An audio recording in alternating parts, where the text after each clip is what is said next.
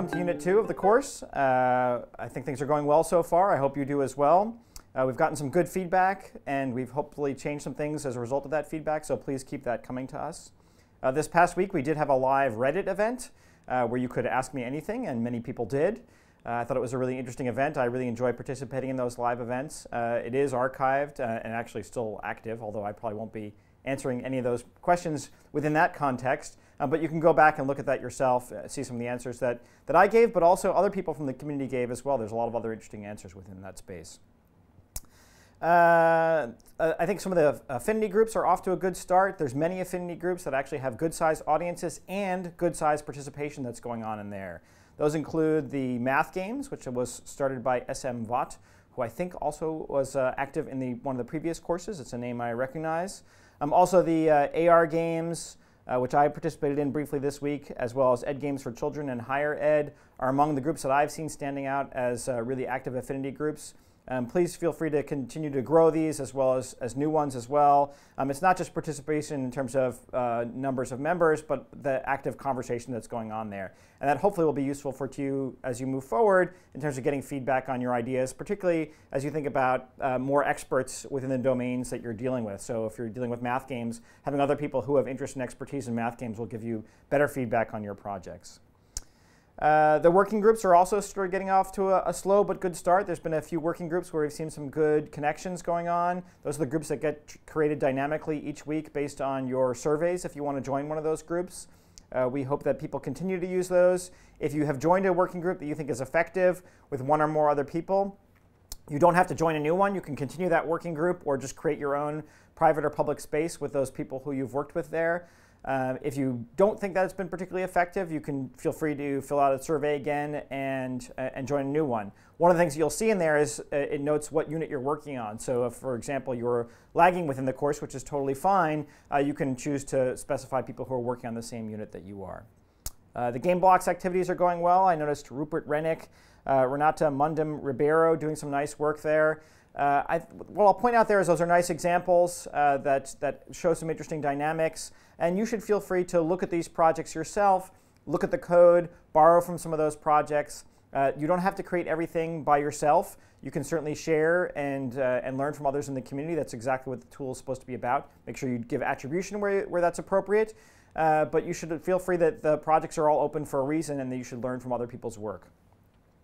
Uh, the mapping gameplay uh, assignments had some interesting results. I'll point out Tom Scott and C. Marlowe, who made some interesting visualizations of the work that they uh, presented within that space. And it was also nice and comprehensive, showing different games across many different decades. Uh, and it made me think about games that I played at different points in my life and in different eras. Uh, and really made me think about how much particular games and particular times in my life really made such a difference. I think about the early games of uh, early days of video games in education, things like Oregon Trail, Lemonade Stand, and how those mattered to me. I think about games a little bit later in the CD-ROM era, like Myst, and how that made a difference to me. And those games are sort of archetypes in my own life that influence my own thinking about game design, and just in terms of the way I think about problem solving. I think.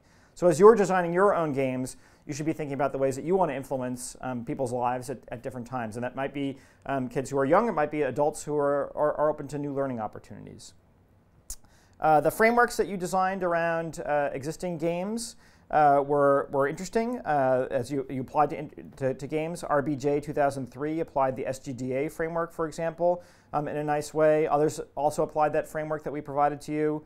Um, and then look, taking a look at some of the other games. So William Waggoner presented uh, Oregon Trail, which was really nicely graphically presented with, with uh, uh, uh, uh both box art and other art from that game at that particular era that it was out. Uh, another person presented work on Phoenix Wright.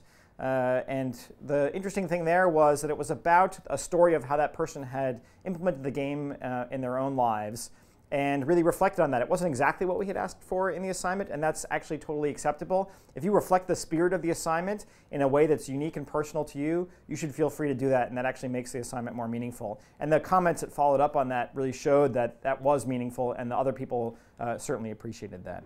And finally, Nancy Hyde presented Monster Physics, sort of a nice detailed analysis of that game. As people design curriculum around existing games, uh, there was an interesting one around League of Legends uh, by Mary L. D. And Edward Cheek uh, took an interesting perspective on NBA 2K and showed how that could be used to understand business, uh, which was a nice application of an existing game. Uh, again, it's okay to lag within the course.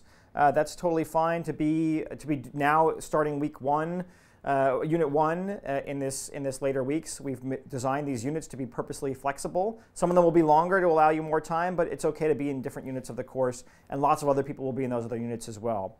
Um, you should also feel free to pick and choose amongst activities. So if there are some activities that you feel like are less meaningful to you, you can choose to not do those and move on to the other activities. Uh, it's really, we treat this course as a buffet where you choose the things that are most meaningful to you and choose to act on those things. Uh, we also have uh, a, a, note on feedback. So for some of you who are giving feedback to other people, we ask to give you to give feedback to the two people who are below you in the forums. Um, if you know, happen to notice that those two are already people who have a lot of feedback, skip those and go a little bit deeper down so that we can spread out the feedback to people, the most people we can, so that everybody's getting some good feedback. The last thing I'll do is give a couple pointers to this coming week. Um, this week is on how games mean. Um, we have uh, a bunch of videos that we've shot, including uh, the usual suspects like Scott and myself, uh, but also Joel Levin of Minecraft EDU and Constance Steinkuehler. And we have uh, other videos that we've brought in from outside that we think are particularly relevant to the course as well. So hopefully you'll enjoy those and enjoy the activities that we've designed around those, and we'll see you online.